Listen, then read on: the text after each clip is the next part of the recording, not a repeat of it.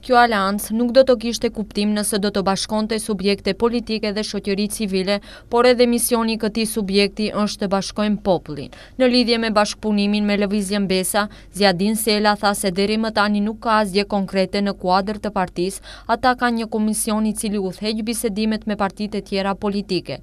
Sot do të ketë mbledhje të kryesisë qendrore dhe ditëve në vazhdim do të njoftojnë për ndonjë koalicion të mundshëm.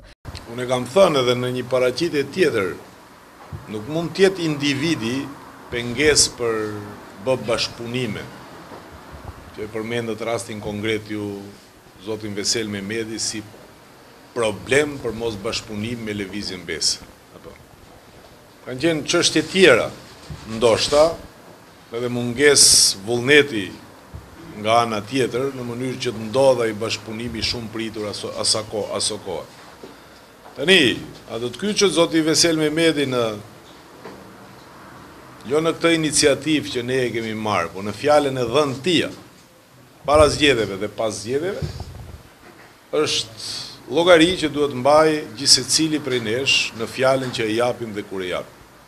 I pyetur në lidhje me kandidaturën në Komunën e Tetovës dhe për përkrahjen e kandidatit për Kërçovën, Sela u përgjigj. Jemi në përpjekje e sipër për të gjetë kandidatin që denjësisht do të përfaqësojë Tetovën. Kemi disa kandidatura, të cilat strukturat partiake janë duke i shqyrtuar. Faktikisht, ne jemi duke menduar kandidaturat gjithandej, por në veçanti edhe kandidaturën në Tetovë. Por ne vazhdimisht, në koordinim edhe me debatin që kemi zhvilluar brenda-përbrenda partisë, ne kemi përkrahur idenë e një kandidati në Kërçovë, Ndër të tjera edhe kryetari i BDK-së, Hysni Shaqiri, i është drejtuar opinionit para medias, duke theksuar se i vetmi koncept që duhet t'i përgjigjemi është aleanca. Ai ka theksuar se të gjithë shqiptarët duhet të ngritin këtë subjekt në rrugëtimin e saj që i është përkushtuar ndaj interesave të shqiptarëve.